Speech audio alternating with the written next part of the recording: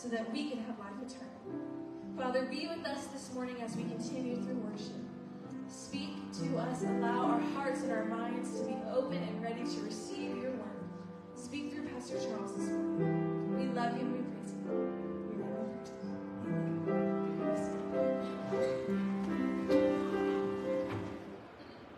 As often as you would do this, Jesus says, what does he say?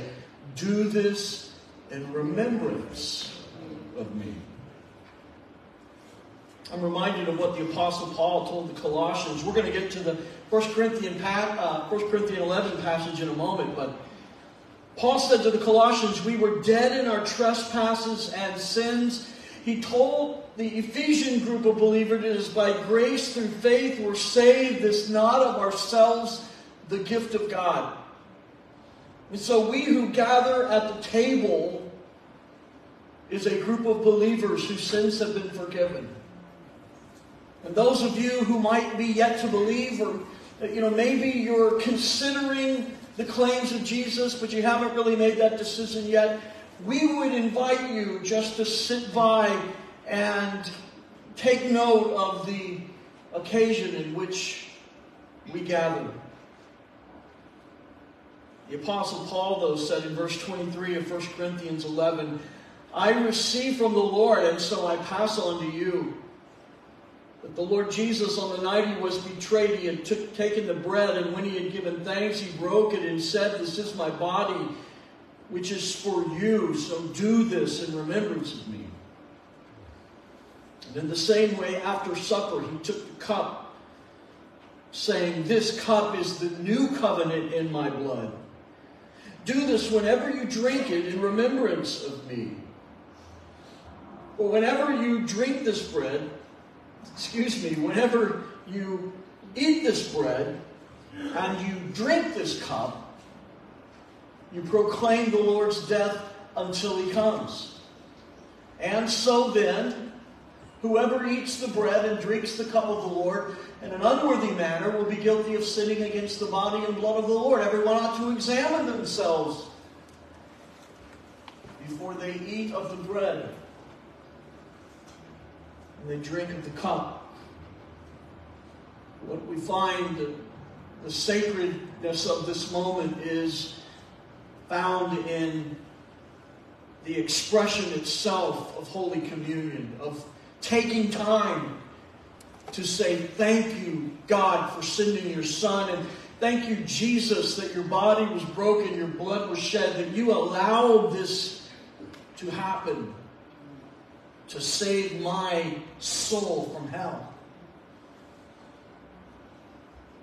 I choose this day to remember how important this is. My body, Jesus said, broken for you, given, broken, distributed sent out to be the light of the world, the salt of the earth, the hope for everlasting life. Participation in the Lord's Supper produces the result, the reminder of Christ's agonizing sacrifice. Hebrews 9, verse 12 says, Not by the blood of bulls goats and calves, but by his own blood he entered into once the holy place, having obtained eternal redemption for us. We see here in this passage that the Lord's Supper is a look backward, isn't it? To be reminded that in days of old, before the coming of Christ into the world, there had to be the slaughter of bulls and goats and calves. There had to be the sacrifice for sin. And how would that be made possible? Well, it would be through the death of something precious. The Old Testament times, the most beautiful expression of that would be an, an innocent lamb. Beautiful white cap, slaughtered,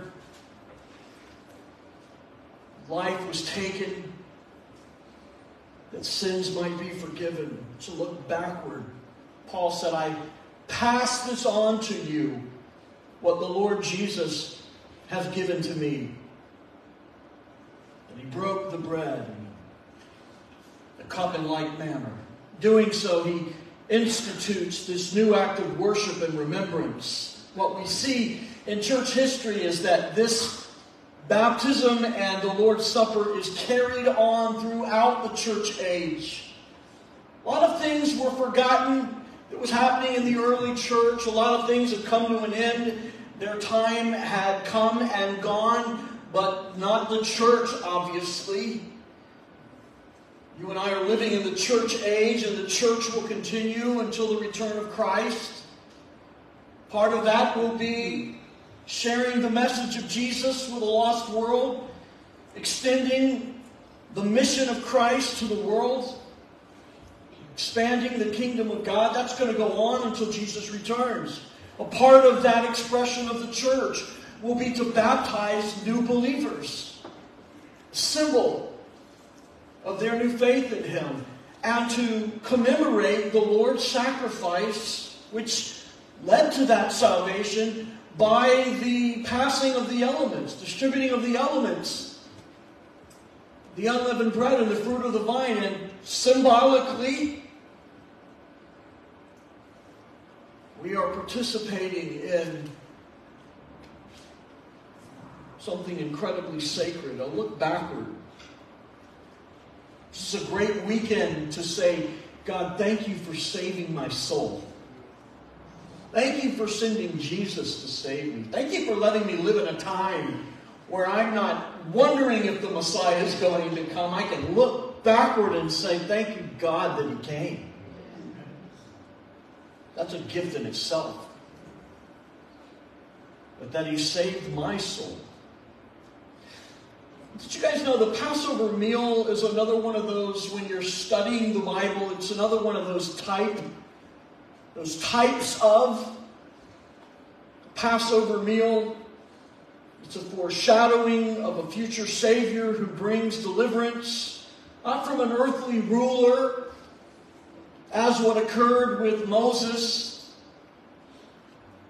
the Egyptians, God's chosen people, and the death angel passing over the Jewish people's homes who had placed the blood of bulls and goats on the door frames and the doorposts of the home, by the way, which makes the symbol of the cross. It's not about that any longer. Jesus instituted something more personal, more sacred, more beautiful. Because Jesus' death on the cross, the scripture says, is once and for all. It's already been done. I want my sins forgiven, Lord. What must I do? It's already been done. Jesus paid it all. All to him I owe. Sin had left a crimson stain, but he washed it white as snow. O grave, where is thy victory? O death, where is thy sting? Thanks be to God through his Son Jesus, who died to save us that we might live. For we are now, as Paul told the Romans, more than conquerors through Christ Jesus our Lord. John said that God loved us so much that he gave his one and only Son. The Apostle Paul said, he gave the firstborn over all creation. And John says, Whoever believes in him wouldn't perish but have everlasting life. It's to look backward at our own salvation, to look backward at how we received that salvation. It's to look backward at the cruelty, the brutality, the ugliness of the cross, the agony of our Savior suffering and dying for you and for me. Talking to someone years ago now, I think.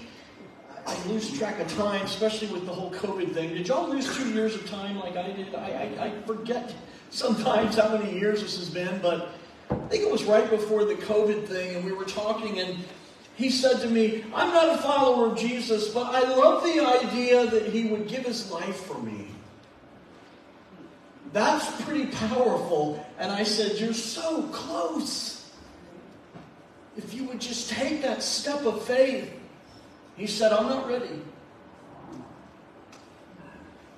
was watching Alice Cooper's testimony. Did you know Alice Cooper's a follower of Jesus? Is that possible? Yes, it is. It's an amazing story. He said that everything he's ever gained in this life, he would all give up to follow Jesus at this point in his life. Coming to Jesus was the greatest decision he'd ever made. And As he was sharing his testimony, he was looking backward that God had led him through so many twists and turns in his life, but never let him go. He couldn't see it before, but he could see it as a believer.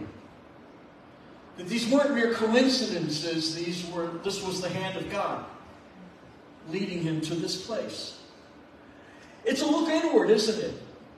I mean, this is what the apostle uh, Paul says here we ought to examine ourselves. We shouldn't just let this thing go in Holy Communion to say, oh, thanks. We should take it as an opportunity to go, thank you for what you did. I realize it was because of me that you died. I don't want to forget the ugliness of my sin that still resides in me in some way that led you to be nailed to a cross. I want to remember your broken body. I want to remember your blood that was shed was on my behalf. One who never did anything wrong, completely innocent, is nailed to a cross for the sins of all humanity. That's the measure of his love.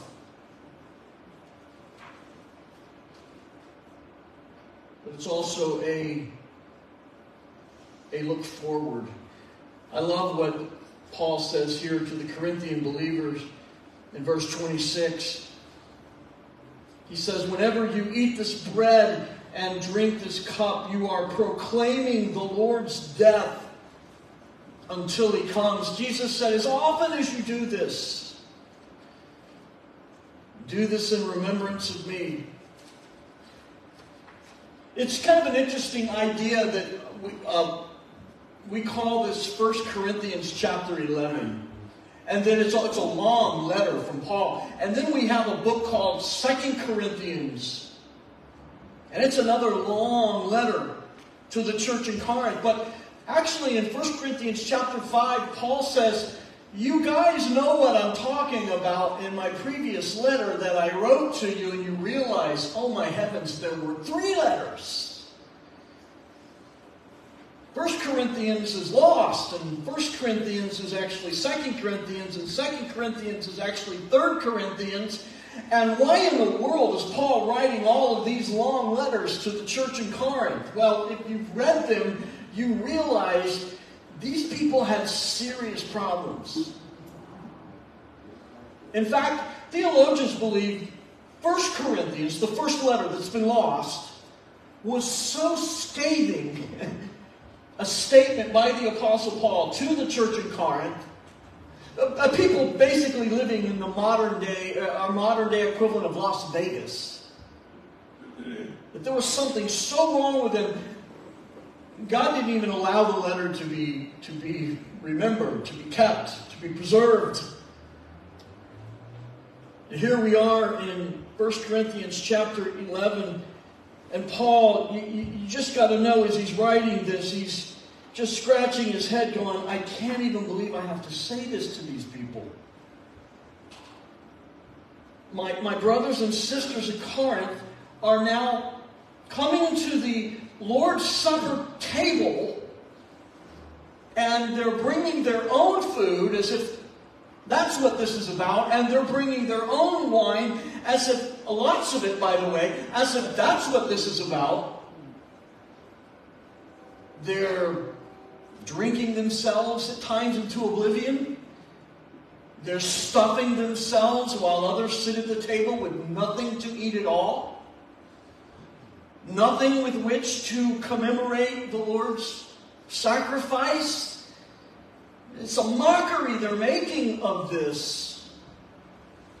And so the Apostle Paul, in a real pastoral moment, he had to say, Look, guys, I love you, but come on.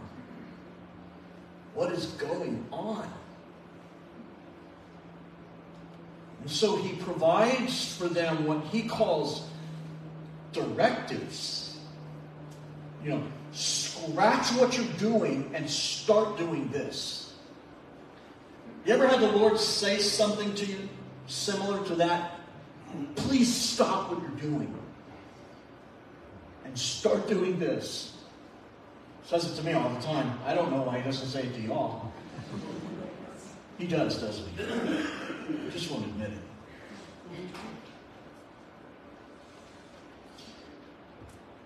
Verse 27 to 29 reveals the whole, uh, the Lord's Supper is only for believers.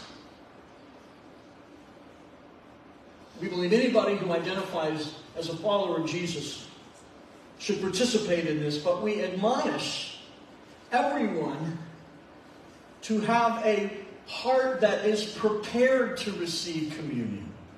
I know people who have come to the Lord's table and the, the, the bread is passed to them and the juice is passed to them and they just pass it on because their heart is not prepared to receive the elements. You say, well, that's a little dramatic, isn't it, Pastor Charles? I don't know. The Apostle Paul says some people have died because they participated in the Lord's Supper without having a clean heart and, and, and were right with God. That sounds dramatic.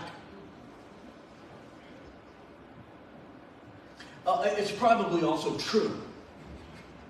I'm joking. It is true because it comes from the Word of God. You and I must prepare ourselves, and I want us to do that now. Would you bow your heads and pray with me? As our men come forward now to prepare the table of the Lord, to dispense of the elements, I, I want us to spend a moment getting our hearts, our desires, our mind, our souls, our spirits right with God.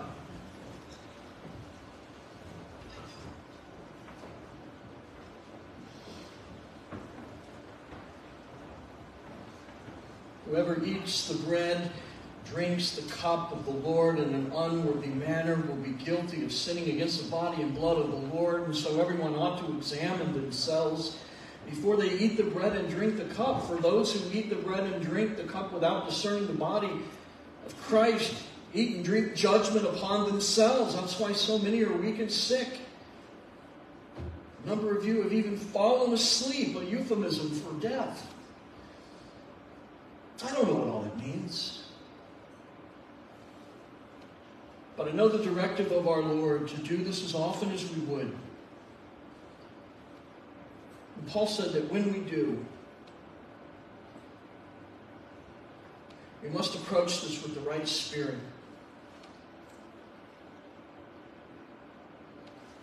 I love what King David said in Psalm 51 read a portion of that for you. Have mercy on me, O God, according to your unfailing love, according to your great compassion. Blot out my transgressions. Wash away all my iniquity. Cleanse me from sin. He says in verse 10 Create in me a pure heart, O God, and renew a steadfast spirit within me. Do not cast me from your presence or take your spirit from me, but restore to me the joy of your salvation and grant me a willing spirit to sustain me. And then I will teach transgressors your ways so that sinners will turn back to you.